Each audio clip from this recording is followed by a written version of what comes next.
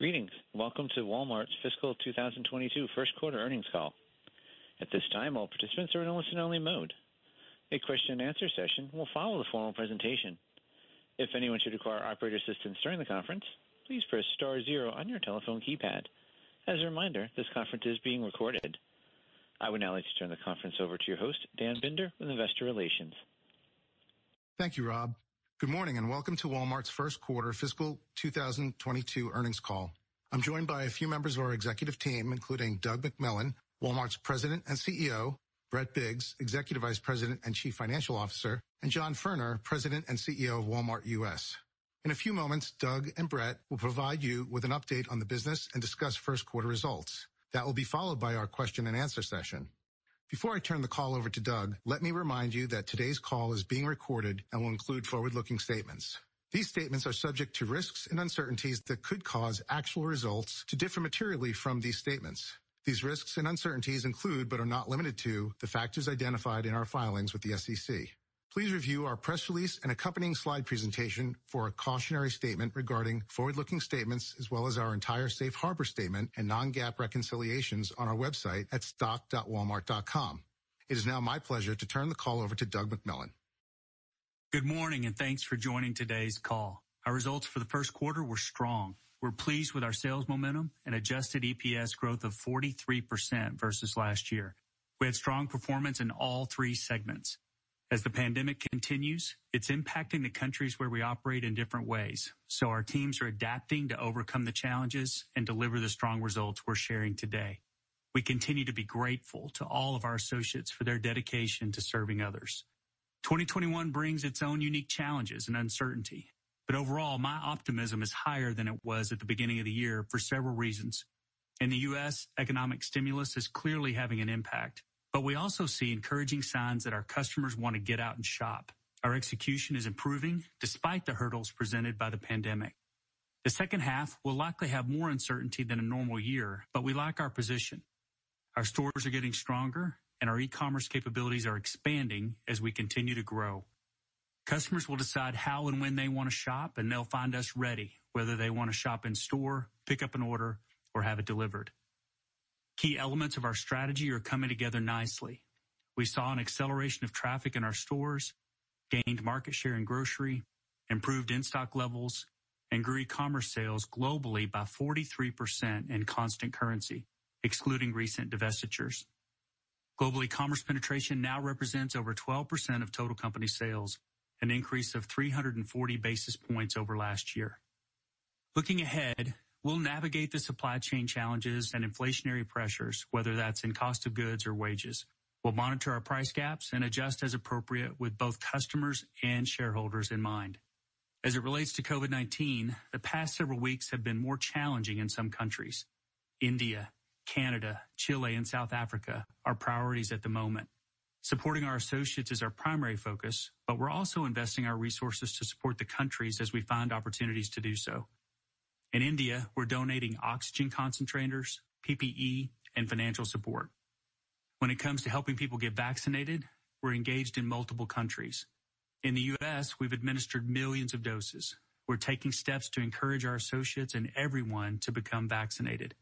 Given CDC guidance, our U.S. associates that have been vaccinated can now work without a mask if they choose to, and we've added a cash incentive as one more step to encourage vaccinations.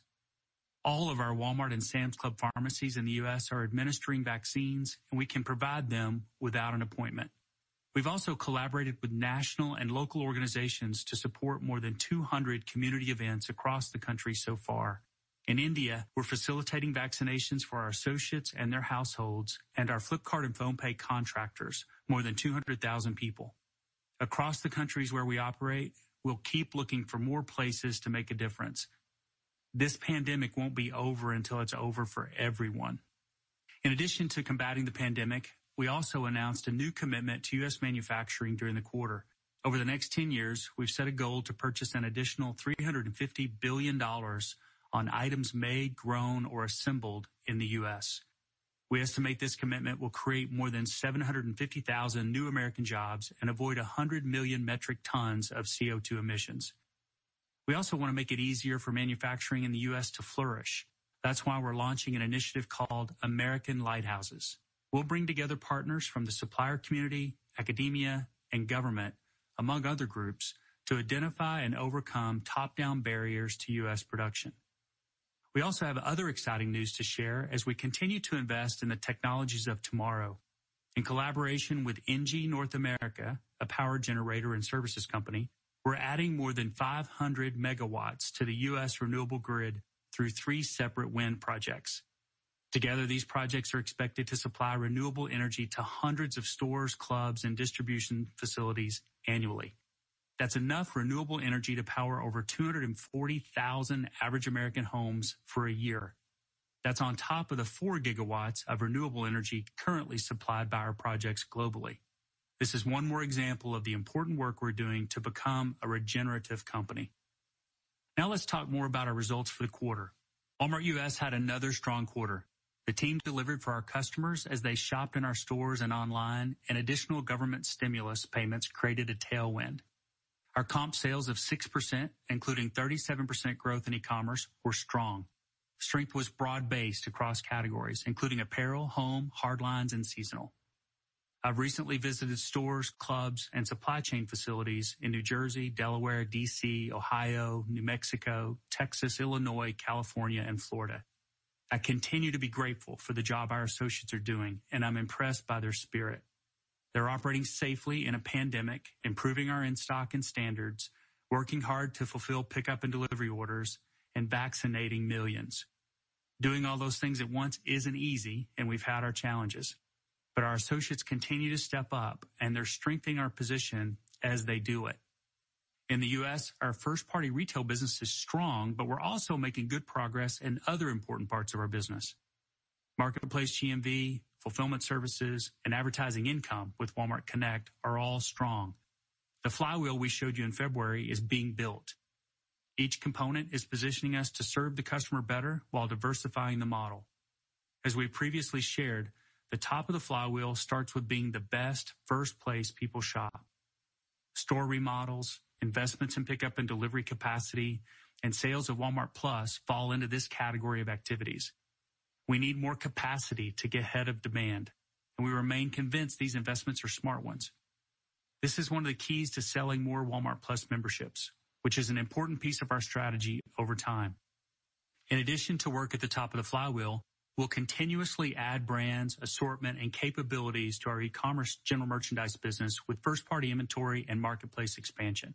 We'll invest in our general merchandise business and grow in higher margin categories.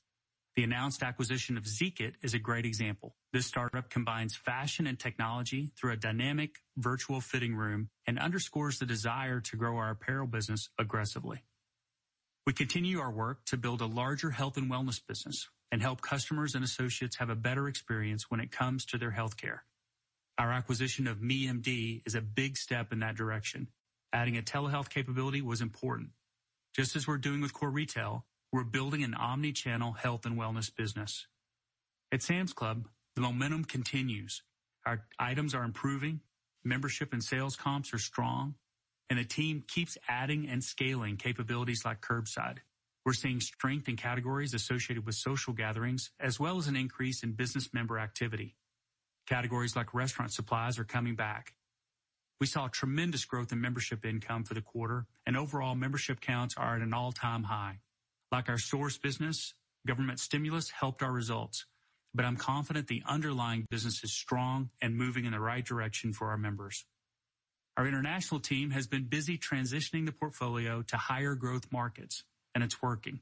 As you'll recall, we recently divested our businesses in the U.K., Japan, and Argentina, and as a result, net sales for the quarter declined about 11% year-on-year.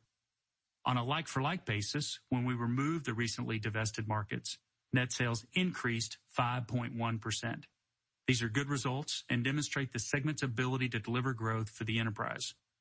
In India, for the first quarter, Flipkart and PhonePe continued to experience strong growth as annualized total payment value run rate at PhonePe grew by more than 150% versus last year. At Flipkart, monthly active customers and users are key metrics, and we're performing well. Our recent announcement of our intent to acquire Cleartrip, a leading online travel company, underscores our commitment to transform the customer experience through digital commerce. Our growing base of customers means we need to continue to add new capabilities, including areas such as logistics and data storage. The recently announced partnership with Adani Group will help us do just that. Walmex continues to be strong, and the flywheel is coming to life. Our assets in this market uniquely position us to serve customers in new ways, and they're responding. In Mexico, sales and e-commerce increased 166%, and our same-day delivery service is now available from 680 locations. Similar to the U.S., we're expanding our business to include more than just traditional retail.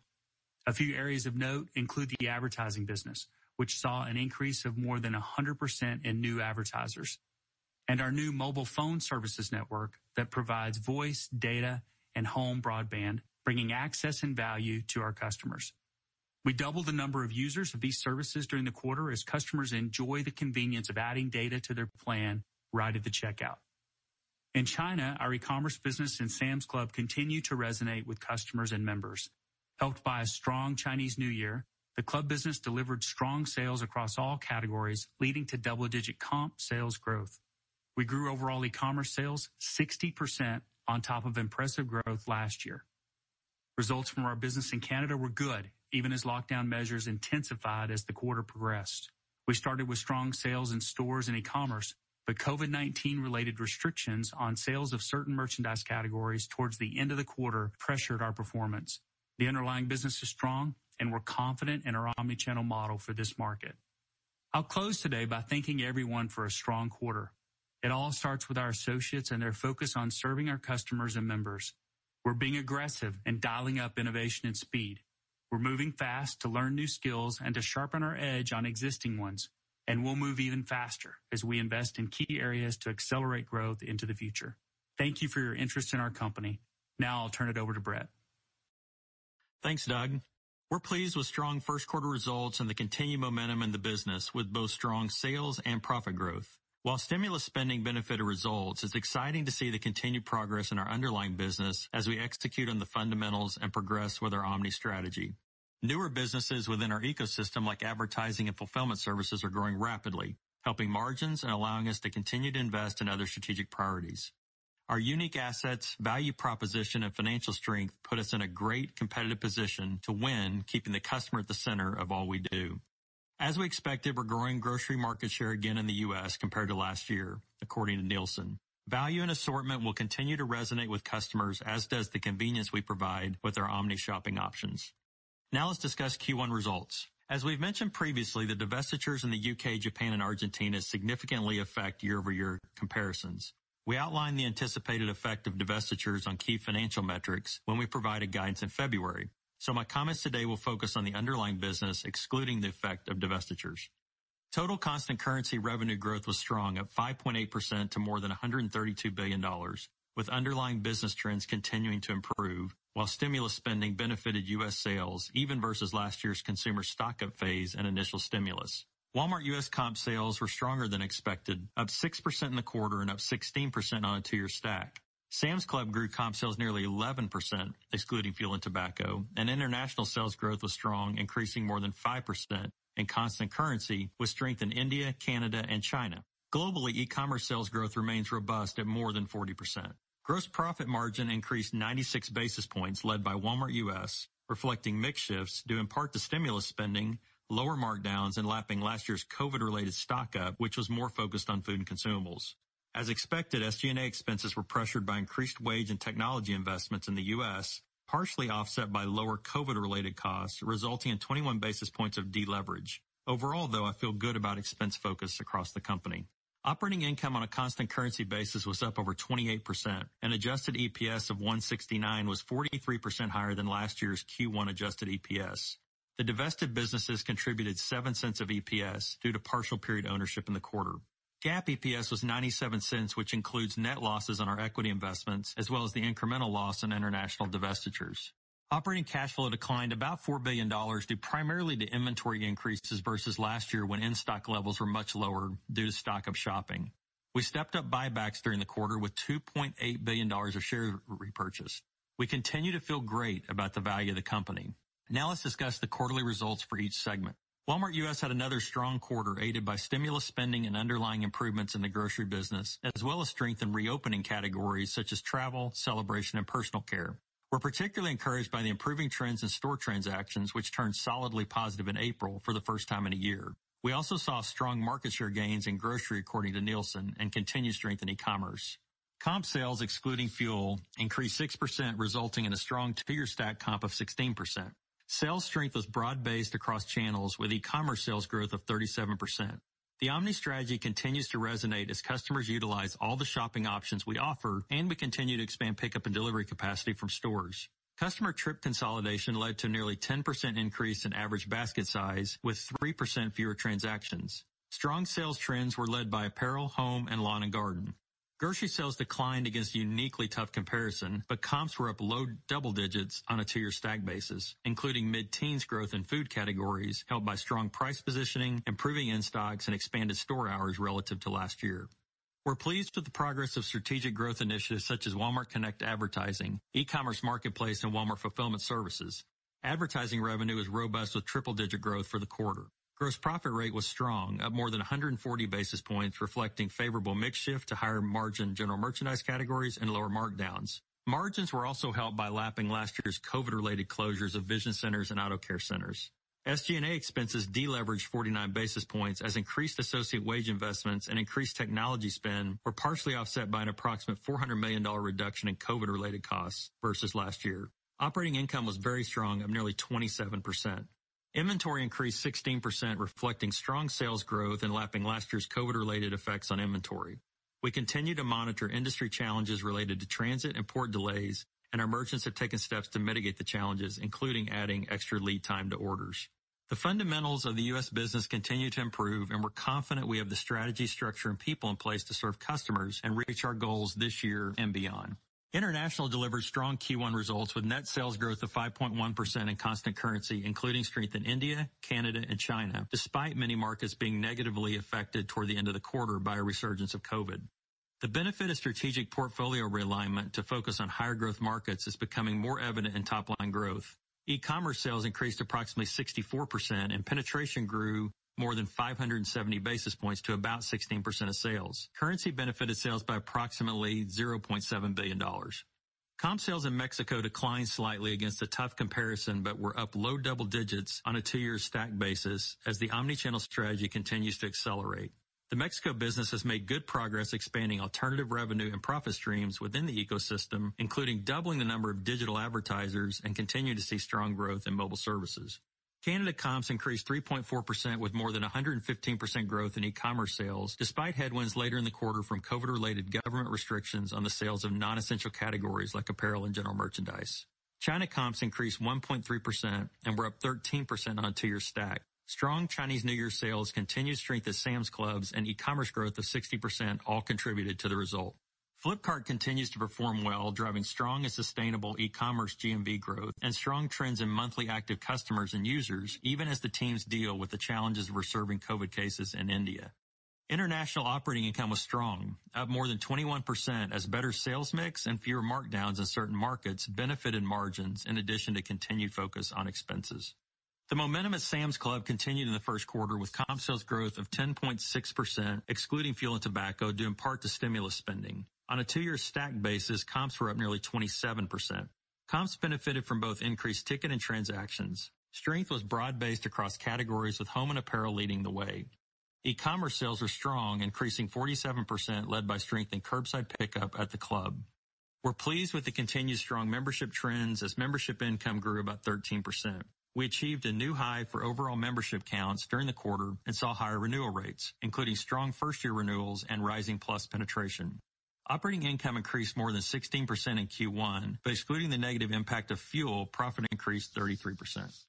Now let's turn to guidance. Our typical practice is to not update guidance until the second quarter release, but we're in an unusual period where Q1 stimulus led to meaningful sales and profit tailwinds that weren't contemplated when we provided guidance in February. The guidance discussed here assumes that COVID conditions continue to improve and there won't be significant additional government stimulus packages for the remainder of the year. We now anticipate higher full-year enterprise sales growth than originally projected, primarily due to the strong Q1 performance and our initial forecast for Q2. Excluding the impact of divestitures, consolidated net sales growth is now expected to be up low to mid-single digits versus our original guidance of low single-digit increase. We're also raising full-year guidance for operating income and EPS to reflect the strong performance in Q1 and our expectation for a potentially better second quarter than previously expected. On a constant currency basis and excluding the impact of divestitures, we now expect full-year consolidated operating income to increase by high single digits for the year and EPS to increase by low double digits, which is an increase from our prior guidance of both being flat to up slightly. Walmart U.S. operating income is now expected to increase high single digits versus our original guidance of a slight increase. The second quarter has started off a bit better than originally anticipated as stimulus spending continues to benefit certain general merchandise categories, and we expect grocery market share gains to continue. We now anticipate Q2 EPS, excluding divestitures, will be up low single digits, and it assumes a low single-digit Walmart U.S. comp sales increase, excluding fuel.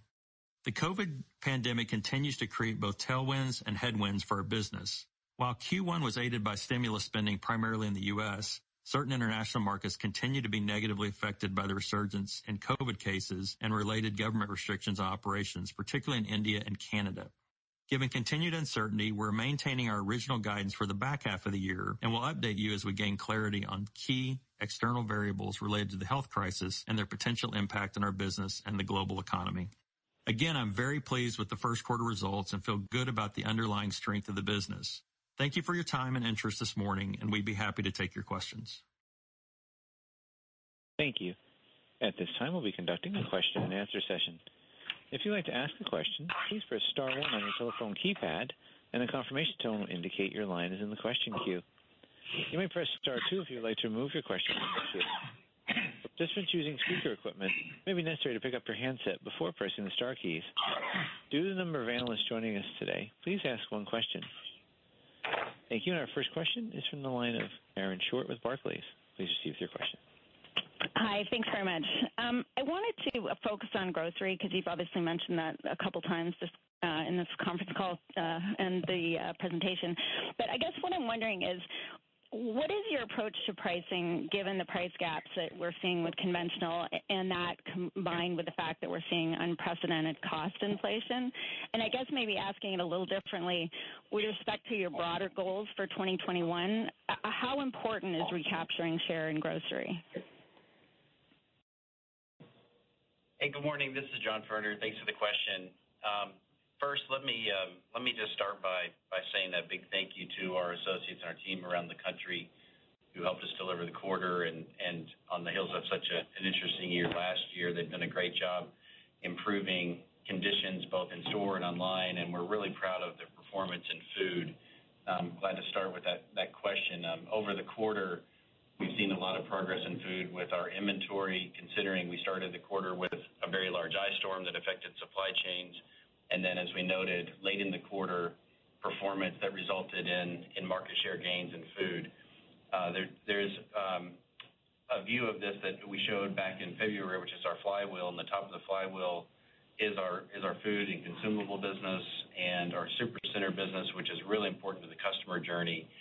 And over the last 12 months, you know, specifically in your question on price, over the last uh, 12 months, we saw our price gaps improve versus the market, and our merchants are are working hard to ensure that that will continue. Um, these market share gains that we saw in the in the latter part of the quarter are very encouraging, and it's great to see that we're positioned well when when customers need to shift. When customers shifted last year to to shopping online, we were able to perform at that time, and then we've seen some shift back into the store in the quarter, and uh, the performance that's represented in the first quarter is a reflection of that. So we feel good about the price gaps. These are things that you always work on, um, considering how many levers merchants have and everything going on in the market. We feel good about our position in the market, and we'll continue to focus on share gains the rest of the year. Thanks. The next question is from the line of Paul Trussell with Deutsche Bank. Please proceed with your question. Good morning, and strong results. Um, just wanted to dig a little bit more on your updated guidance for the year. Uh, maybe if you can give a little bit of color as it relates to uh, the improvement in your your 2Q expectations, and then just provide a little bit more context on how you're thinking about first half versus second half of the year. Hey, Paul, this is Brett. Good to Good to hear from you. Yeah, I mean, we um, as we got through the the first quarter and you know, we started you know, we started understanding how strong the underlying business is, as John said, it started out a little challenging with the weather we had in February, but we saw the business strengthening as we went through the quarter. And certainly, some of that is is going to be stimulus. That we we readily admit that. But you're seeing customers get back out again. It feels like things are opening back up, particularly in certain parts of the country. So we felt like it was the right time to go ahead and update guidance, different than we typically do, given the the strong performance. And then what we've seen in the early parts of the the second quarter, we felt that that we should go ahead and, and update guidance as we did. We haven't said anything really about the back half. We, as I said in my comments, still a lot of um, uncertainties that are out there. We have headwinds, we have tailwinds, and they'll they'll play themselves out over the next several months. But I think all of us feel more confident than we did in February and and um, felt like updating guidance was the right thing to do at this point. Paul, this is Doug. I would just add that when we imagine back to school, Halloween, Thanksgiving, Christmas, and what families are going going to want to do, we get really excited about the potential of that and, and are buying Um, in a consistent way with how we're imagining it. Thank you. And just a really quick follow-up, just on the margins, um, just digging a little bit more uh, in 1Q. Brett, could you talk a little bit more about what was the impact of the strategic wage and technology investments uh, that you made? Yeah. I mean, I'll talk. I start with gross margin. I mean, gross margins obviously were up significantly in the U.S., about 140 basis points. You had really strong general merchandise sales this year, but you're comparing that against a quarter last year that was very heavily influenced by food and consumables. So you get that that dynamic on gross margin. Um, certainly, the wage investments um, had an impact. I won't get into the specifics of that. It did cause us, primarily cause us deleverage in the first quarter. But we knew that was that was coming. We're glad we did that, and certainly ahead of of the environment that you're seeing right now, wage increases, tech investment increases as well. But it's offset by some other things that we're leveraging across the company. Paul, I still feel good about the over the overall expense discipline and focus that I see across the company. As we said, when we get through this year with the increased wage investments going forward, I still feel good about our ability to leverage long term. Thank you. Best of luck. Our next question is from the line of Simeon Gutman with Morgan Stanley. Please proceed with your question. Good morning, everyone. Um, so I have maybe two-part question, but I'll make it one question. First, you you referred, Doug and Brett, uh, in the transcript, a lot of um, mentions of alternative profit streams or profit pools. Um, can you talk about your visibility around the business and if these pools are giving you more confidence in sort of how you're managing the business, it gives you more, uh, I guess, wherewithal to invest back into it? And then the second part of the question is, uh, Doug, you mentioned the flywheel and you're investing in capacity ahead of growth. Any update on when there you know, could be an inflection, or is it is it rolling, or does it start um, at some point in the next fiscal year where you're at a good place and maybe push a little bit harder on Walmart+? Plus? Thank you. Yeah. Simeon, this is Doug. I'll go I'll go first. As it relates to alternative profit pools, John can chime in here as well, but I'm, I'm excited about Marketplace. I'm excited about what's happening with fulfillment services. Walmart Connect performance was good. We do have strong visibility into that, and you're starting to see it happen in Mexico, too. And as we've said to you before, this is this strategy makes sense for us everywhere in our key markets. So the P&L is starting to change its shape, as we described in February, even more than a year ago, and that does give us some room. Morning, Simeon. This is John. I'll just add on and say that we we are uh, excited about the three areas mentioned, Marketplace, WFS, uh, Walmart Fulfillment Services, and Connect, like we said earlier. Really optimistic about the results with Walmart Connect, with triple-digit growth. That platform is something that we've been working on for a while, and as we talked to you a few months ago, it helps connect buyers, sellers, and suppliers in a way that's that's unique to Walmart, and optimistic about what we see there. Um, on fulfillment services, um, it's great to see the team expanding capacity. We know we have seller demand. Uh, my team and I have spent um, a number of hours listening to sellers, talking to sellers, and, and figuring out all the tools that we need to add. So this is important for their businesses as well. And then, as we said in the quarter, uh, we had 37% growth in e-commerce on top of a, a big number last year. We've, we've basically doubled the business the last couple of years. So excited about all three of those, and, uh, and they're, they're clearly um, clearly businesses that will help us with our flywheel going forward.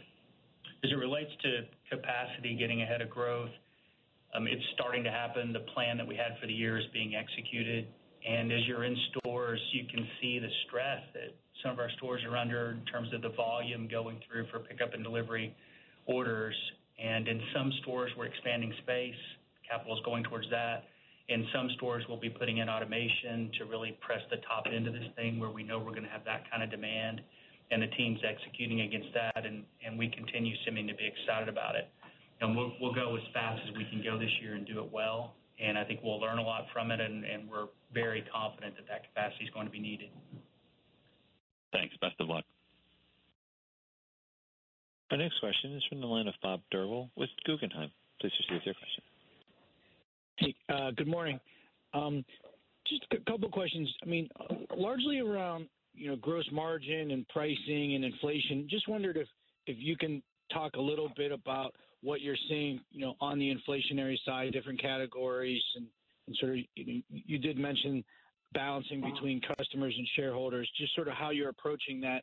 And sort of tying it together, when you look at the consumer you know, focused more on value, you know, versus convenience. Just wondered if you could maybe give us a few examples on where you think you're making progress, you know, around that value offering in, in this environment. Thanks.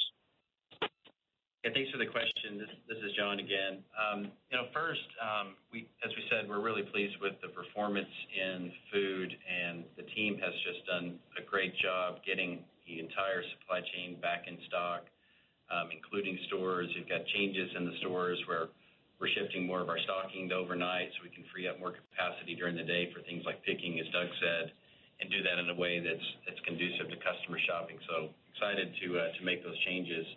Um, as far as price gaps, um, we we've always had a principle here that everyday low price is important. Um, in the quarter, we had about 30% more rollbacks in stores than what we would have had a year ago. Some other things that are important are, are the mix not, only to mix the entire box, but the mix within food. Um, pleased with the share gains that happened in meat and produce and, bakery.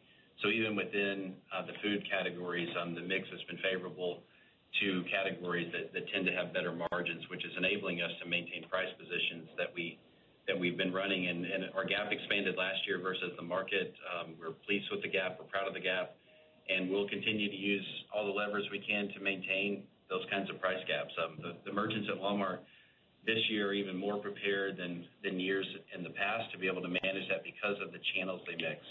Our merchants across the business can manage uh, the channels from stores to e-commerce first party, e-commerce third party, and then finally, um, with the additional revenue and profit streams we mentioned with Walmart Connect, Marketplace, and fulfillment services, that will just help us going forward mix to make sure that we have the right gap for customers. I do agree with you that um, that value is could, could be more more important than, convenience last year, but value has been an important pillar of ours for a very long time. This mentality that John described related to rollbacks is important to underline. It, it applies in international and applies in Sam's Club as well.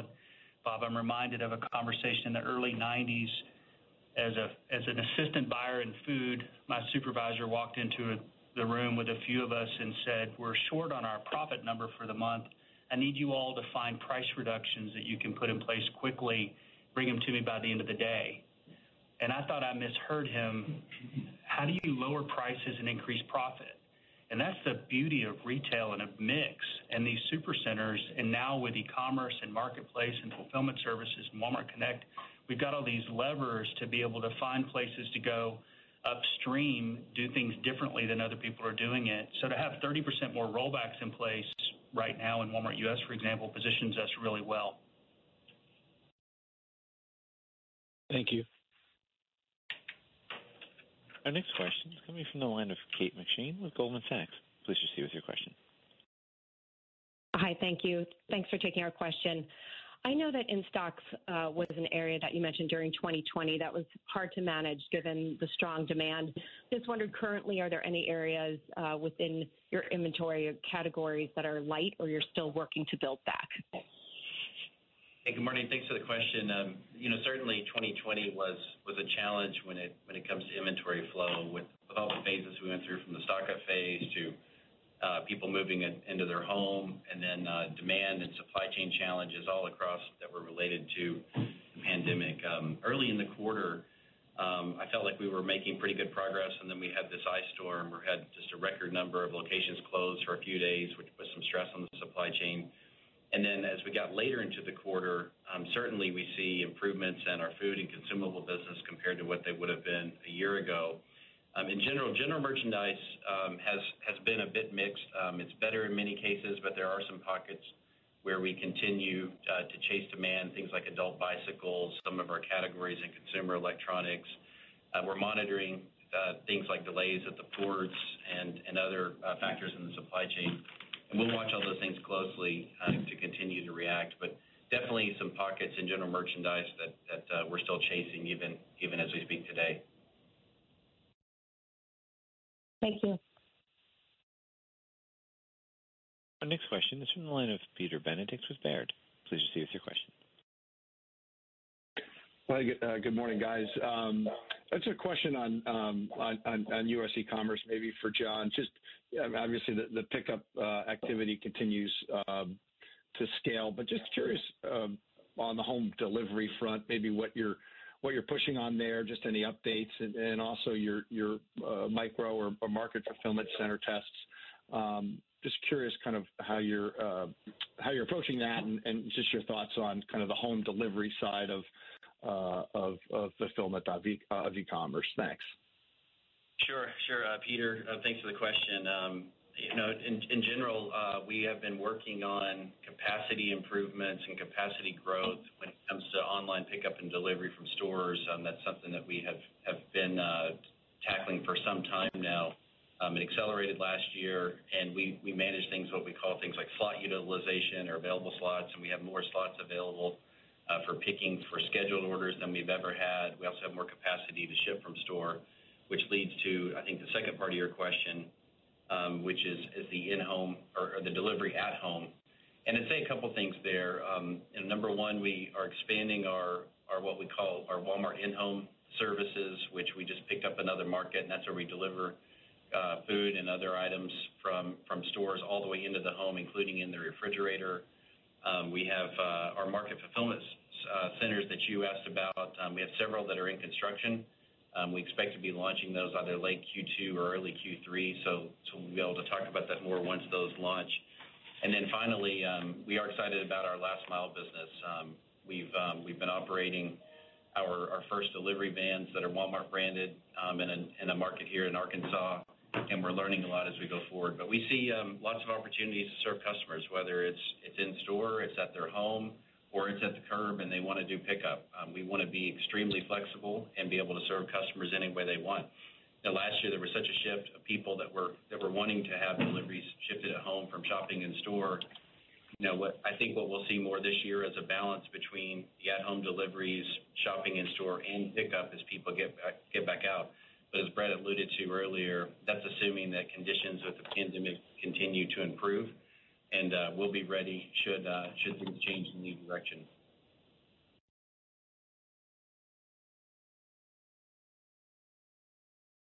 Our next question is coming from the line of Michael Lasser with UBS. Please proceed with your question. Good morning. Thanks a lot for taking my question. Can you quantify two of the comments that you made in the script? One was from Brett, who noted that the guidance increase was mostly due to stimulus-related spending. So how do you parse out the 1Q results and what you're expecting in 2Q, the impact from the stimulus? And Two, Doug noted that Walmart+ is an important driver over time. So can you give us a sense for where that program stands today and how it should unfold from here? Thank you so much. Hey, Michael, is Brett. Good to hear from you.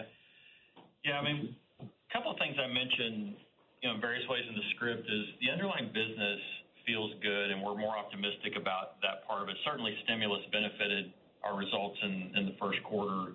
But you can also get a sense of how we increased the second quarter, so you know what the original guidance was and how we increased the guidance for that quarter. So that should give you a you know, a little bit of sense of of how we're thinking about stimulus versus the underlying business. I can tell you, though, it is challenging to pick out exactly the impacts of stimulus because of the types of categories that you see benefited by stimulus are also categories you see benefited by the economy opening up, particularly in the general merchandise side. So it makes it a little more challenging to pick through that. Michael, on membership, you know, inside Walmart, this is a new program for us. The number one driver of selling memberships is the Um, grocery supercenter pickup and delivery. And as we said before, capacity is our issue there. And as we said in February, our focus is on the quality of that experience, not the quantity. We want some time to work on NPS. We want to build capacity. We are marketing the program, and, and long term, it'll be important to us. But we've gotten so many other things going on, you know, with stores improving in traffic and e-commerce growing and marketplace and all that kind of stuff. We just we don't think that Walmart+ should be the primary focus at the moment for us with all these other opportunities. So we'll keep growing it. At some point, I'm sure we'll share some more information with you guys about it. I know there's a request for that because of streaming services and how much people are talking about subscriptions and memberships these days. Um, so that's John, I don't know if you want to add anything, but that's how I feel about it right now. Yeah, I completely agree. and and The big thing that we're doing is creating capacity to be able to serve more. And we've uh, begun work on market fulfillment centers where we can use locations as as hubs for uh, for other stores and spokes. Uh, we've got a lot of really encouraging supply chain work going on that would help us use the right algorithms to be able to pull inventory from all across the network and be able to serve people. So uh, the encouraging just in the last few months to see that um, not only the capacity has gone up, but e-commerce results have been strong, delivery from stores has been strong, delivery from fulfillment centers has been strong. So these capabilities we're putting in place will be a great foundation for this program as we move forward. Having a digital relationship with customers is important, and that takes various forms. We've seen with the app downloads, for example, and app popularity and what happened last year in particular with pickup and delivery, a really large expansion in the number of digital relationships, which helps us with data and helps us be a retailer of the future. Overall, we feel good about what's happening in those areas. Yeah, those relationships, um, I believe, will continue to grow because of things like the improvements in technology. We're working on improving the the app and its its core experience. Um, uh, acquisitions like Zeekit and MeMD are also other ways that customers will be able to connect with Walmart effectively, and we'll be able to help them with more and more of their life and take friction out and make things simple for them. Very helpful commentary. Thank you so much. Our next question is from the line of Steph Wissink with Jefferies. Please proceed with your question. Thank you. Good morning, everyone. We had a question on general merchandise improvements. You've talked a lot about food, but I'd like to give you some time to talk about general merchandise. You've brought in new talent there. You've made some strategic tuck-in acquisitions and some strategic partnerships as well. To help us think about what we should be looking for in terms of progress on general merchandise, and maybe if you could tie that back to some of your initiatives around Marketplace as well, what you're learning from your digital growth that might be driving some of your in-store decisions around general merchandise. Thank you. Sure. Let me take that one. This is John again. We're really excited about the performance in general merchandise in the quarter. Um, as you mentioned, um, we did make a number of changes with talent over the last year. Probably the biggest change was last July when we pulled all of the channels together, and traditionally, we had teams of people we called category specialists that were online, and then we had buyers that were in store, and we're referring to them all as merchants because the merchants now have the customer relationship across all channels. And the team has spent a lot of time thinking through and working on the right program to determine what in our assortment goes in store, what's 1P, and then what's 3P. Um, I'll give you an example. Just just last week, I was in Minneapolis visiting one of our suppliers, uh, Nordic Ware, who makes cookware here in the United States.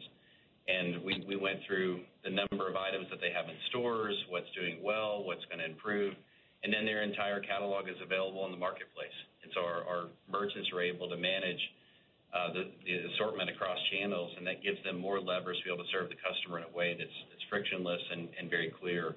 But in the quarter, um, we definitely saw some changes with the way customers shop, partly due to stimulus, but also just behavior changes.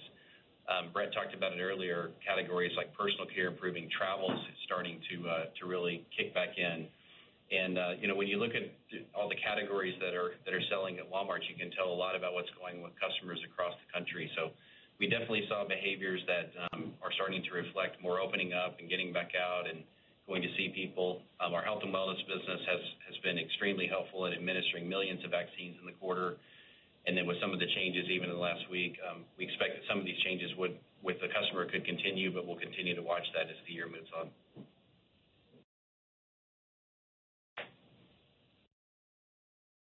Thank you. Our next question is from the line of Edward Yruma with KeyBanc. Please proceed with your question.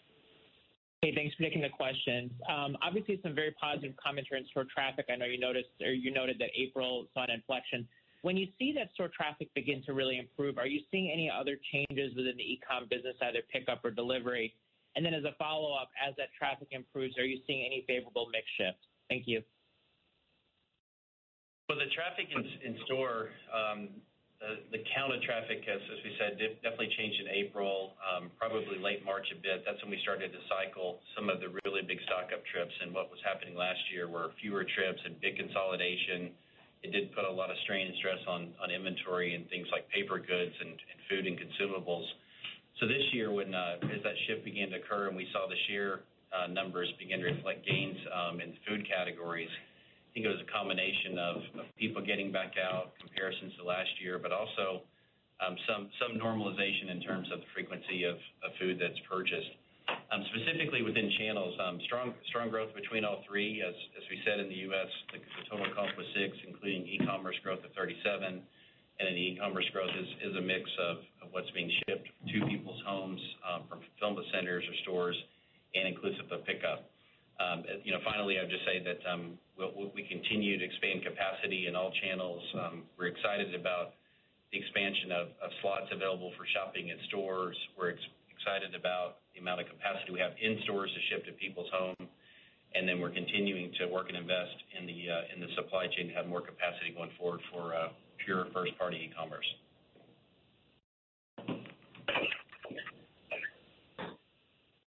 Thank you. Our next question is from the line of Michael Baker with D.A. Davidson. Please proceed with your question. Thanks, guys. Uh, just two follow-ups, if I could. Uh, one, uh, the 100 basis point or so gross margin improvement, can you sort of parse that out on how much is coming just from the mix from general merchandise and how much is being supported by the strength in the alternative businesses? And if not an exact quantification, maybe directionally. And then the second question, just to follow up on the comp guidance. So First quarter was better than expected. Second quarter guidance is up, yet the full year comp, if I'm understanding it correctly, didn't change.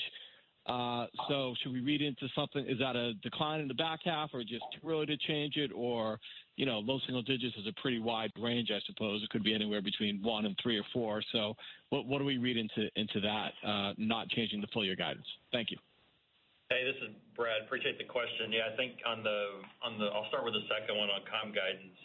What you said about, you know, about low single digits being a fairly wide range, that is the case. It is a wide range, and and uh it's a when you look at the big numbers of Walmart U.S., it ends up in a in a really wide range. So I wouldn't read anything into that. We feel great about the first quarter, and the second quarter started out pretty well, as we've said. On gross margin, I'll say start, John, you uh, come in. The the biggest change, of course, was the general merchandise sales strength that we're seeing this year versus the food and consumable strength that we saw last year in the first quarter. And also, when you start seeing strength in general merchandise, which we've had really over the last several quarters, you see fewer markdowns. There's a lot of add-on benefits that come from uh, from that for gross margin. Yeah, let me just add a bit onto the, the margin question. Um, certainly, there was strength in general merchandise in the quarter. Um, we talked about the strength in food, and food was more balanced this year than what we would have seen uh, last year. Last year, we were really heavy in, dry grocery and stock up items as the pandemic began.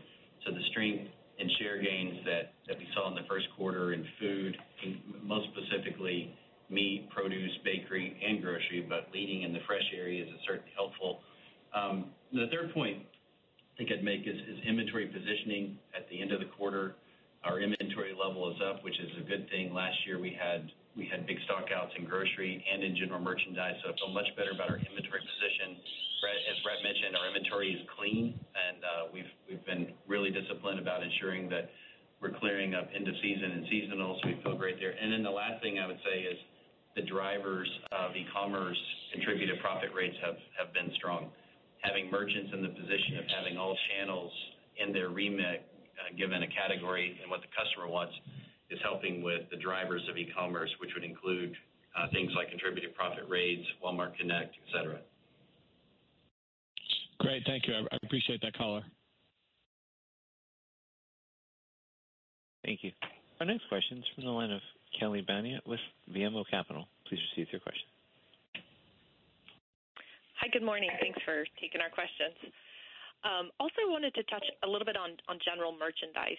So with in the U.S., so with low 20% growth, uh, just curious if you uh, think you gained market share there. Um, we were thinking maybe 26% market growth, which is kind of rough estimate, but just curious how you're thinking about that, how you measure that, and also how your efforts with Walmart Fulfillment Services and third party are maybe contributing to your general merchandise growth.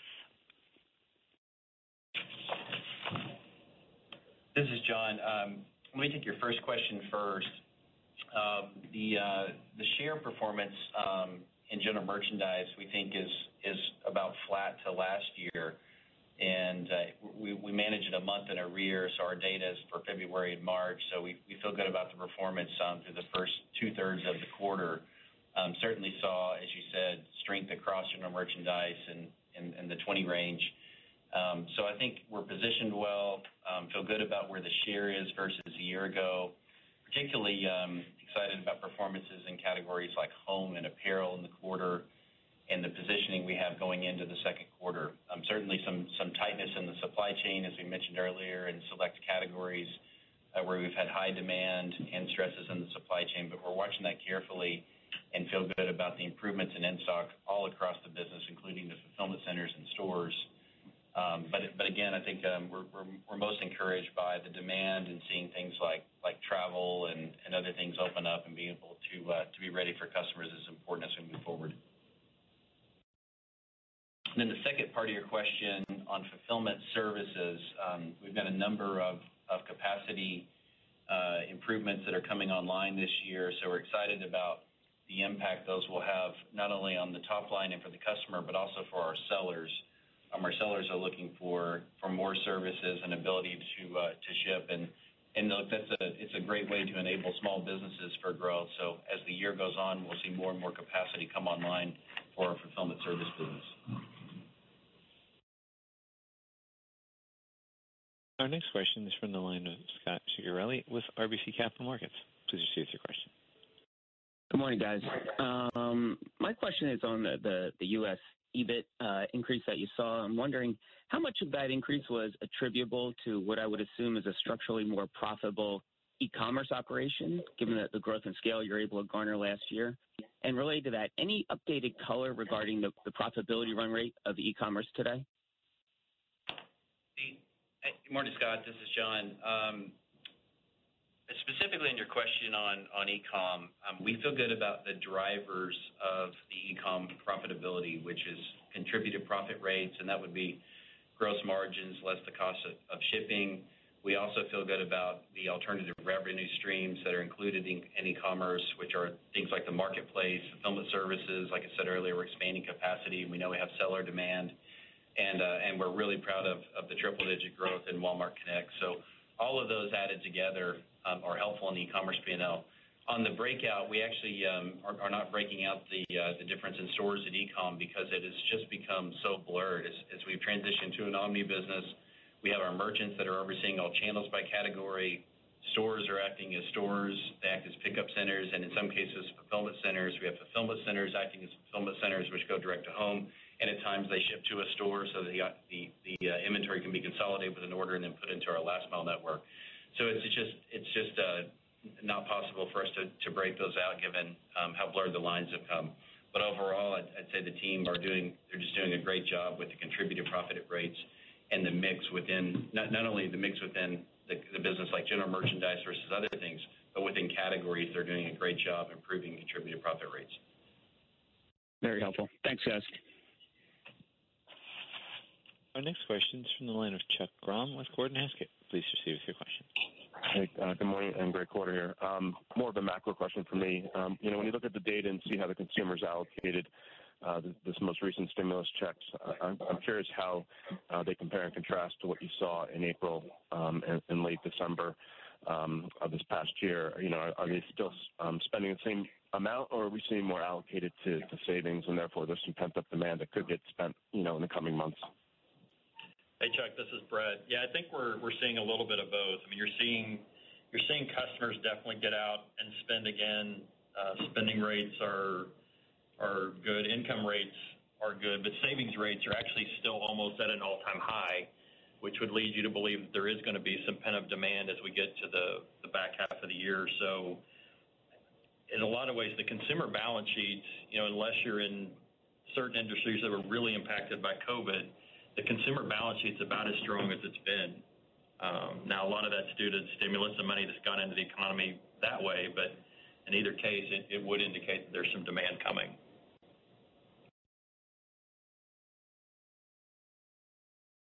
Our next question comes from the line of Robbie Ohmes with Bank of America. Please proceed with your question. Hey, good morning, guys. Um, Doug, you know, you mentioned the, um, you know, the omni-channel health and wellness business. Can you remind us, you know, what what um, that could ultimately look like? And you know, maybe um, weave in, I, you know, what the current like pharmacy recovery, how that's playing out. I know you guys have been involved with vaccines and everything. Anything going on that's gonna accelerate the uh, omni-channel uh, healthcare dream for you guys? Yeah, Robbie, I'll jump in first, and then John can add. I think the pharmacy business has performed really well considering everything our pharmacists have been doing. Um, it's been an incredible challenge to do everything that they've done since the pandemic started, including all of these vaccinations that they're doing. We did have to shut down our vision centers for a while. Optical, though, is back open, and that's helped a lot. The ultimate destination does look like an omni-channel destination where we leverage those historical businesses together with new healthcare services and the digital front end that John mentioned earlier and I mentioned in my remarks with with MeMD. You can imagine a future where we'll be able to reach customers on their devices in their homes to help them think about their healthcare in terms of what they eat, how much they move, and then what types of healthcare services they need and where they get them. And so I think you can see us building together those capabilities that would help people have access to care, more of an outcomes-based healthcare system, great value, accessibility, and serve a lot of people that that need to be served, and also end up with a really good business that fits together well with a large food retailer. And so we've just been working through that strategy, executing the pieces. And if you look back at the CareZone acquisition, this latest acquisition of MeMD, you can see us adding some capabilities in addition to those that we're building on our own. And Doug. Uh, Go ahead. I was just gonna ask, is this something that longer term fits in with Walmart+ as well? Um, we'll get back to you on that, Robbie. Robbie, this is John. Uh, I just wanna reiterate excitement for the idea of an omni-channel healthcare solution for customers and Walmart together. Our pharmacists and our pharmacies have performed very well in the last year, given all the challenges they've faced. They've they've opened up curbside delivery delivery to home. Uh, we've got central fill pharmacies now helping assist um, with with cost and efficiency. On the service suite that they offer, it's of course different by state, but the way our teams jumped in and found ways to help get the country vaccinated has been nothing short of amazing. I was in a store here locally last night, and uh, just just seeing a number of people be able to walk up and get their vaccine was very encouraging. And then, as as Doug said, the the market changed last year. We've had opened a number of clinics, and we continue to open clinics. We're excited about the prospect of clinics bring. And then a large part of healthcare shifted to digital last year, and the entire industry embraced that. So this acquisition of MeMD to enable relationships with customers on their device, in their home, and be able to execute service care um, with our pharmacies and clinics on the backside of that is a really exciting prospect, and it's a big part of our flywheel going forward. Thank you. At this time, we've reached the end of our question and answer session, and I'll turn the floor back to Doug for closing remarks. Just want to close by saying thank you to all of you for, for following the company so closely. Hopefully you can see that in addition to the, the U.S. tailwind, that we've got strength building in the company. As I mentioned, I was in a lot of stores during this last quarter, and, and standards are improving, in-stock's improving against the challenges that, obviously the pandemic brought. But we've also got great momentum and strength in Sam's Club. International had a really good quarter, one of the best quarters, Brett, we've had in a while in international. And the portfolio work that Judith and the team have been doing there is working. And, um, you know, the situation with the virus in India is is tragic, and we'll support not only our own folks, but but the country as much as we can to try and get through that. And I'm sure there'll be other hotspot cities and countries that we'll deal with in the coming weeks because this pandemic's not over.